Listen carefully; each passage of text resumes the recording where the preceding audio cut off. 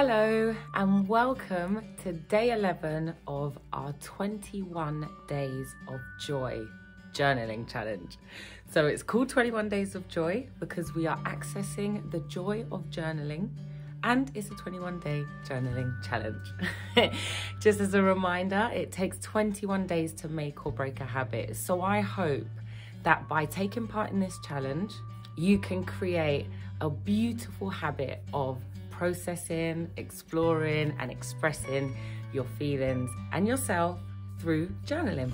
If you're in the orange room right now, you can go over to the topics and click on practical teachings, and there's one called The Joy of Journaling, you can find out loads more about journaling.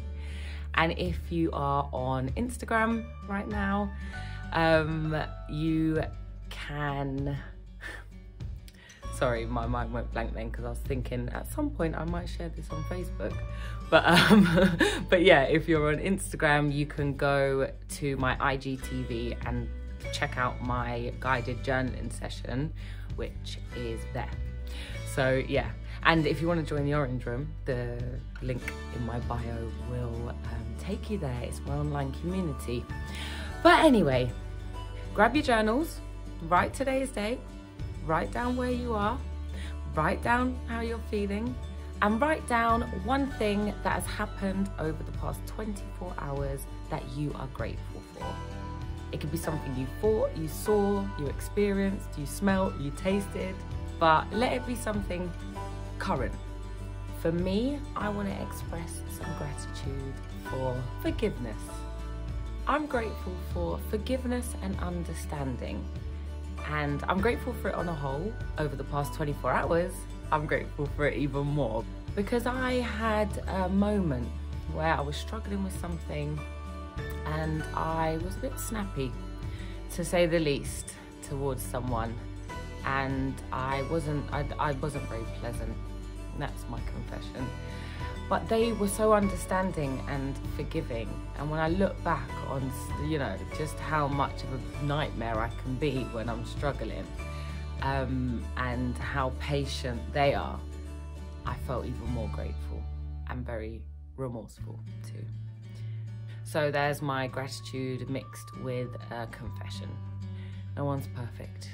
We all do things that we need to apologize for but having people around us that forgive us and um, yeah, who are understanding, it's uh, it's a gift. So there's mine. Write yours.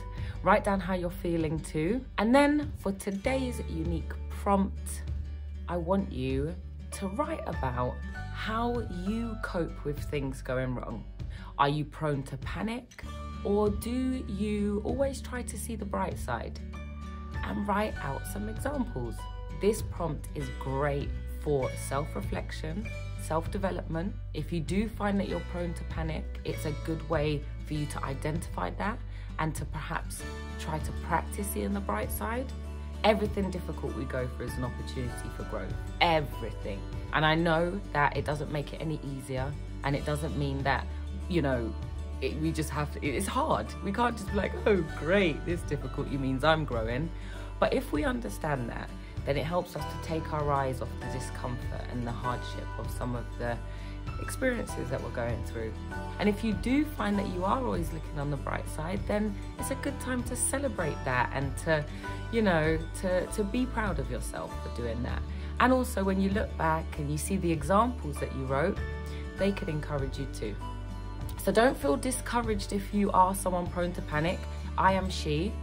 Um, I am prone to panic. I do try to see the bright side as well. So if you are like me and you find that I am prone to panic, but I do also see the write that too. And let this be something that doesn't make you feel like you have to be focusing on your bad points and, you know, but it's good to identify some things that aren't serving us and decide to work on them. So I hope that this is a lovely time of self-reflection for you. I hope it opens a door to growth and I hope you are happy as you're journaling. Happy journaling. I'm speaking really fast because I need to eat. But speak soon, guys.